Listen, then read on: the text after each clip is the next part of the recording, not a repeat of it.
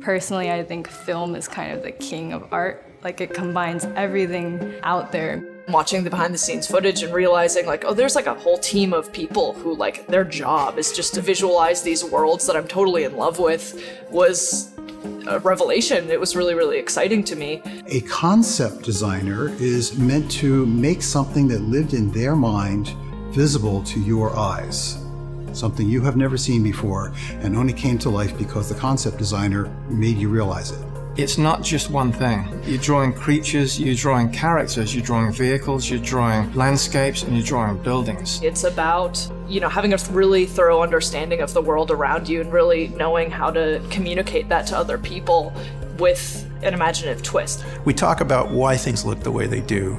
And so it leaves it up to a student to design something that looks as fanciful or as realistic. And we spend a lot of time talking about how the costume supports the character, what's the costume's relationship to the character's identity, environment, status. You have to think about how it's sewn, what materials are they using, what colors were available, and what technological advances that we had as humans to help us make these costumes. It's a definite plus for students to be able to learn how to sketch and then to actually build into a 3D, whether it's in the computer or it's in an existing maquette that they do in films. So I think the character animation track in Art Center is unique because we're combining all the knowledge that's here in terms of concept design and combine that with animation storytelling. Art Center is famous for uh, having teachers who are currently working and, and, doing work you might recognize in the field.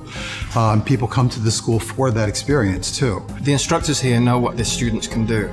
The students don't know how far that they can take it.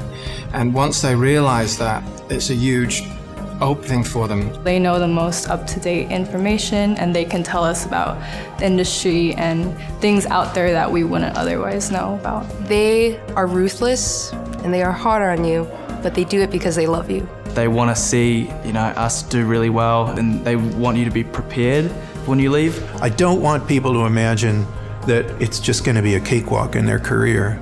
But neither do I want them to be worried that it's going to be punishment.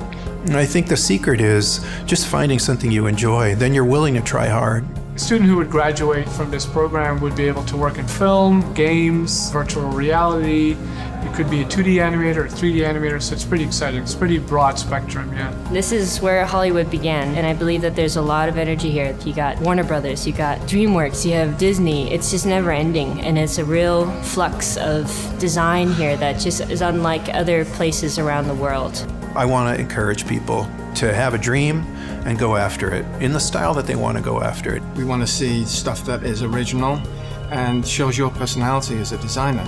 We're looking for people who can surprise us. You are not trying to please the design gods. You are trying to please a real audience that's just like you. Don't forget that your ultimate goal is other people saying, that's so cool.